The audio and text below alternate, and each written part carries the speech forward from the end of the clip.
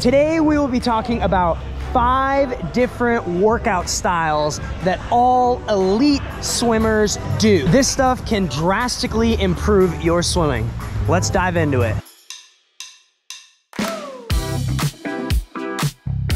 The first training style that we're gonna talk about is one that a lot of coaches would argue is the most important, and that is true race pace. We're talking VO2 max, real simulated race pace, a type of set like ones up here where there's a certain amount of rest that allows you to actually hit race pace, whether that's 200 back end race pace, whether that's middle 50, 100 meter race pace, something along those lines. A set like this. A classic 1050s on 130, 200 pace. If you're fit enough, ideally the athlete should be able to hit their actual 200 race pace for 1050s with that amount of rest. Similarly, another set 40-25s on 45 seconds, 50 seconds, something like that. One of my personal favorite VO2 max sets is this right here. Four rounds, and there is rest in between rounds to recover, where you're going 275s on 230, 350s on 130, and then 425s on 45.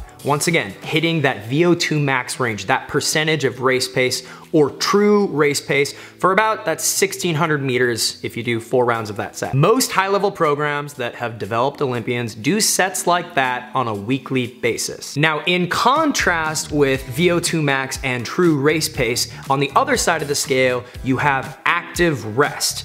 Active rest is probably my favorite style of training. This is good because you are working on speed, you are working on hitting percentages of race pace. However, you're also building your capacity. You're also building that aerobic system as well. Here is an example of an active rest set. 2100s on maybe 130 short course yards First 50 is at pace. Maybe it's at 200 pace, maybe it's at 90% of 200 pace, something along those lines. The second 50 is just easy, smooth swimming. And then by the time you get to the wall, you're really only passively resting, sitting on the wall for 15 seconds tops. A great example of an active rest set is one like this, where you're doing rounds with a larger amount of time in between rounds, but the rest within the rounds themselves is very short. So right here, you have five rounds of four 100s. Once again, the first 50 is at pace, the second 50 is easy, smooth swimming. That's a recovery second 50, but the overall interval on those four 100s is much shorter. Maybe it's 120,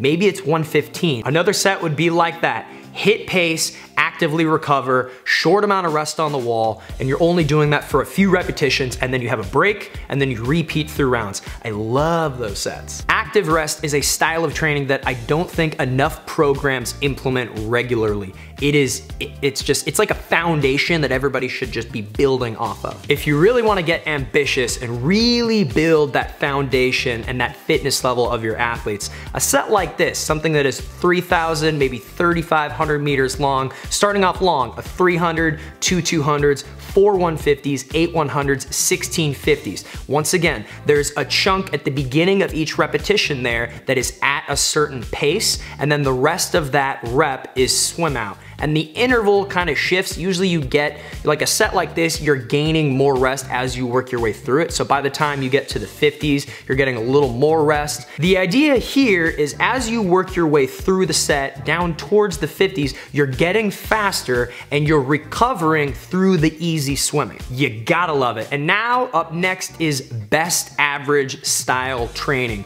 We do a lot of this stuff here at the Indiana University swim team. A set like this, three different rounds of eight 100s, maybe it's short course yards on 140. The first set is eight 100s kick, the second set is eight 100s pull, and the third set is eight 100s swim. You're taking a few minutes in between each eight 100, but overall, you're trying to hold your fastest pace for a substantial duration through those eight 100s. And ideally, the last few hundreds are a little bit faster. Now, this is a set that you would do every few weeks to just test your fitness level and see the improvements throughout the season. A good old fashioned best average set right here, four rounds of 850, starting off between 85 and 90%.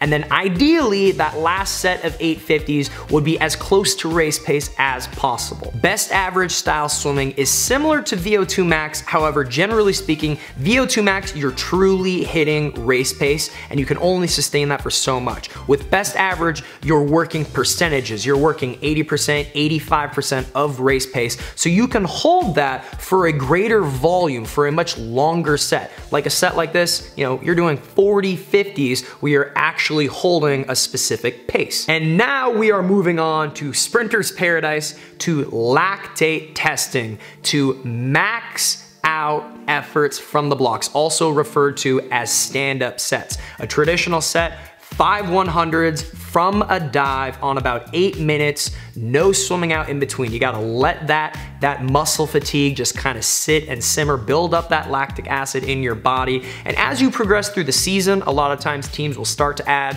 a little amount of swim out in between the repetitions to kind of filter out that system and get yourself ready for racing.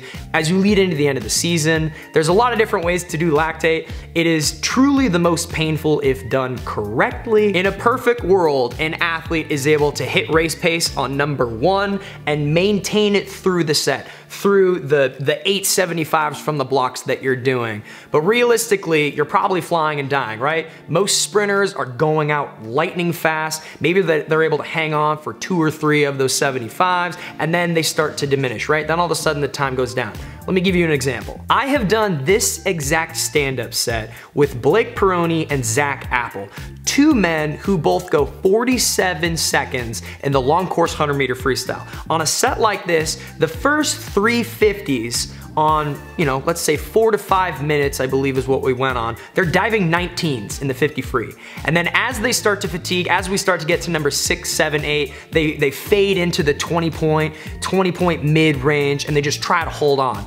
I'm not that fast. I don't go 19 regularly in practice. I believe it doesn't matter if you're a 50 meter freestyler, a 400 IMer, or a long course 1500 swimmer. You've gotta know what it feels like to truly max yourself out and die. You have to push yourself to your breaking point in order to keep chipping away and pushing that boundary back. So all swimmers need to be doing some form of stand-up lactate racing. I, I, really believe that. And now that brings us to our fifth style of training on this list, power, maximum power. And there's two elements to training power, muscular strength and muscular endurance. If you're training true, true raw power, you're focusing on muscular strength. A set like this, four rounds with substantial rest in between rounds where you're doing one very heavy loaded pulley, you know, a weighted resisted system, 125 maximum effort, and then you're waiting, you're resting, you see the interval right there, maybe that's on two minutes,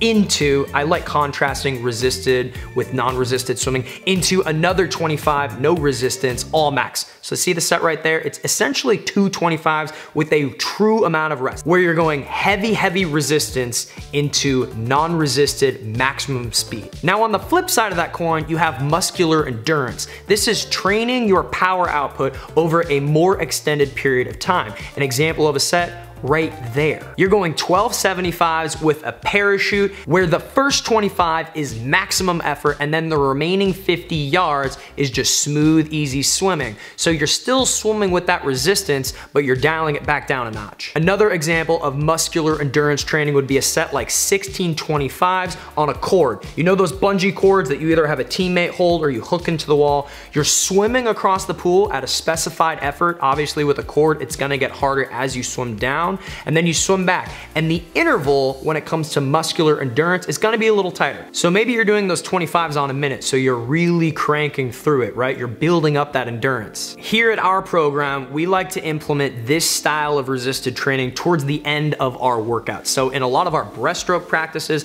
that you all have seen in a lot of my vlogs, we will end with, you know, 15 or 20 resisted pulleys at a specified weight and a specified effort level where we're getting a moderate moderate amount of rest, but overall it's more like you're training the endurance system with the resistance opposed to sometimes when you're doing true power, you're getting lots of rest, you're using more weight. I think you need to have a contrast of both. You need to be doing a little bit of everything. Of all the things that I just listed, VO2 max, active rest, best average, lactate or stand-up sets, and power.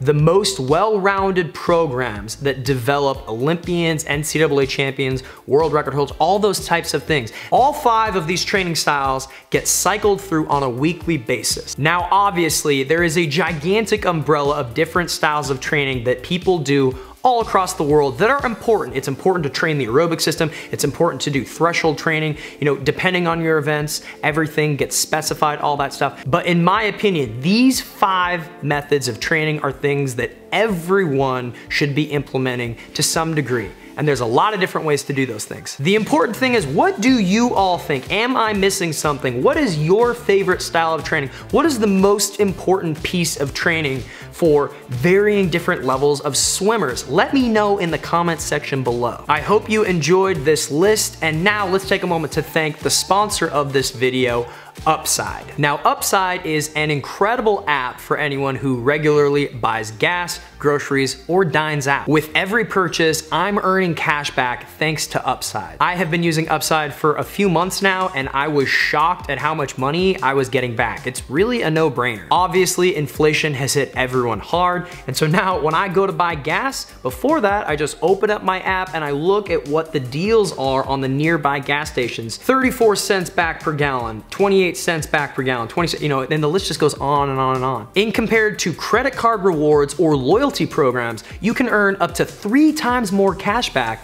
with Upside. You can cash out at any time directly to your bank account, to your PayPal, to an Amazon gift card, you know, whatever you wanna do. Upside users are earning more than a million dollars per week, which is probably why they have a 4.8 star rating on the App Store. It's really easy to get started. You just download the free Upside app in the App Store or in the Google Play Store, use promo code Miller and get $5 or more cash back on your first purchase of $10 or more. You just claim your offer on the app, you check in at the location when you're there, you buy whatever you're buying, you pay regularly, and then you just, you get paid on the app. It's that simple. If you're interested, download the free Upside app at upside.app.link slash Miller to get $5 cash back on your first purchase of $10 or more. Link is in the description below. Thank you all for watching. I hope you enjoyed this video. All the normal stuff right there. If you'd like a personalized video from me,